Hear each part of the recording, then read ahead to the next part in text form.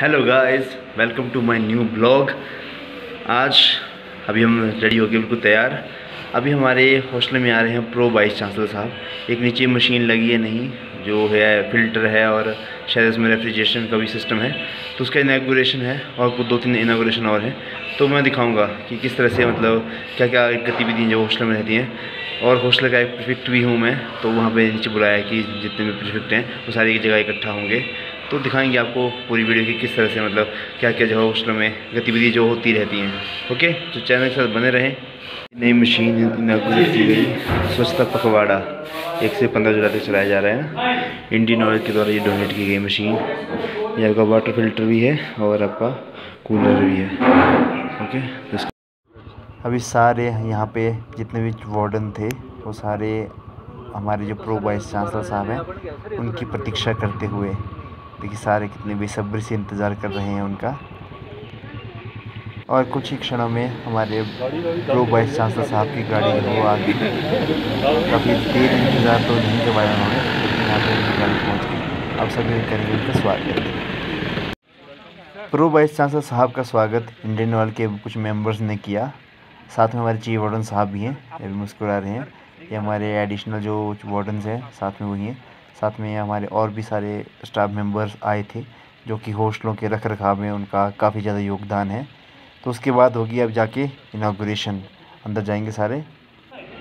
तो हमारे वार्डन साहब ने कैंची थमा दी है हमारे प्रो वाइस चांसलर साहब को।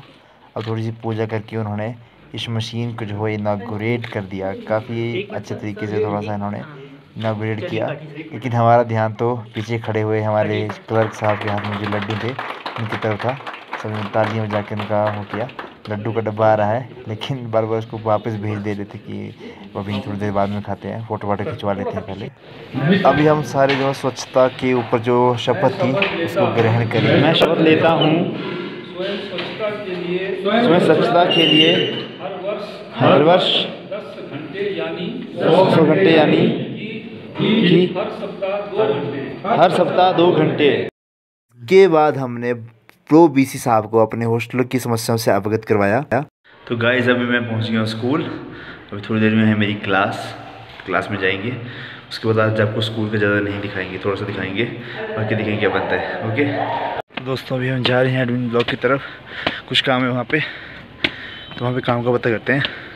दिखाता आपको एडमिन ब्लॉक यहाँ का। ये देखिए एच में इतना ज़्यादा ये सब चलता रहता है।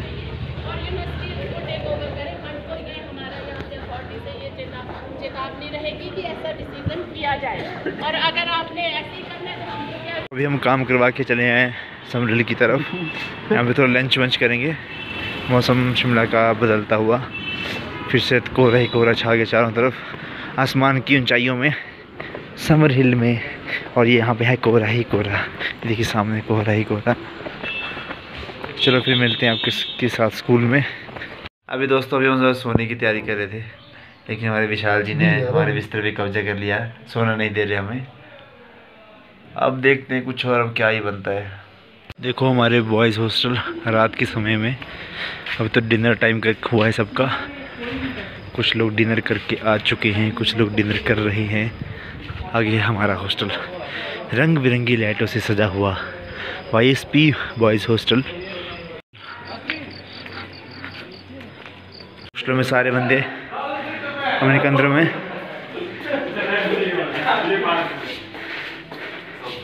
तो वीडियो करते हैं यहाँ पे एंड आज मैं कुछ ज़्यादा तो नहीं दिखा पाया, क्योंकि वही डेली का रूटीन तो क्या ही दिखाऊँ ना।